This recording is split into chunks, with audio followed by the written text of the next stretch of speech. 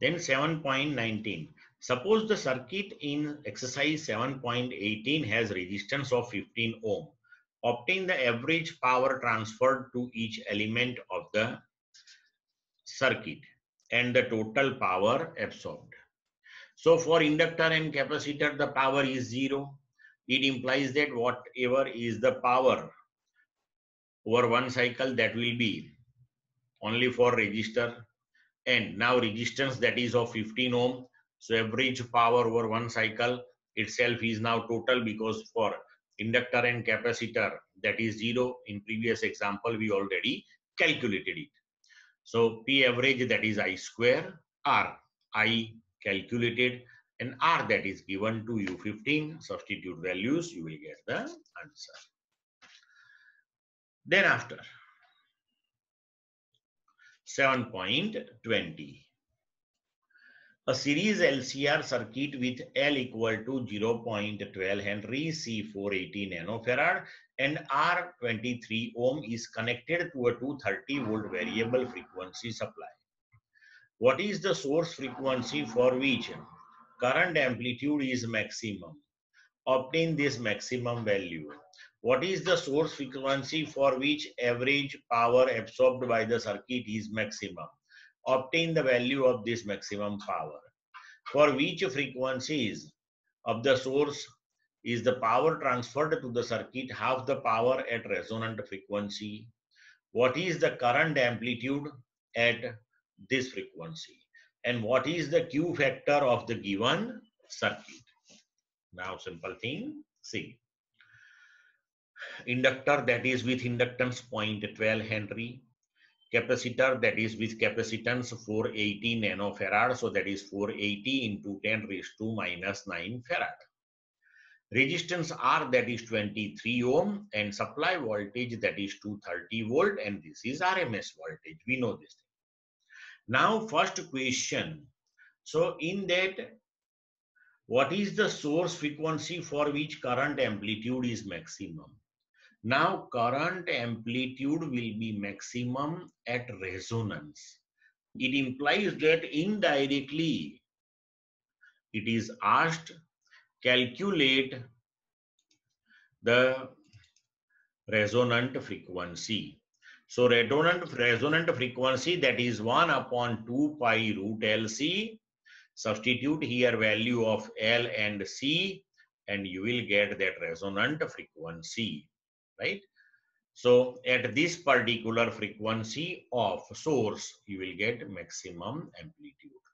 Now at resonance, XC that is equal to XL so Im maximum value of the current that is Vm by Z, but at resonance Z equal to R and Vm that is root 2V.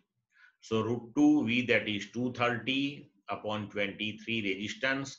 So Im that is 10 root 2 ampere. Now at resonance frequency the power. So that will be Im square R because at resonance Z equal to R.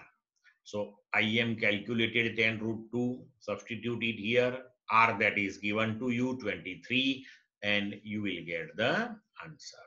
Clear? Then after, for which frequencies of the source is the power transferred to the circuit half the power at resonant frequency and what is the current amplitude at this frequency. So we know this thing at a frequency omega 1 and omega 2 where omega 1 that is omega 0 plus delta omega omega 0 that is resonant one and omega 2 that is omega 0 minus delta omega for these frequencies in resonant curve we discussed this thing right and at that time the current that is Im by root 2. So power will be half.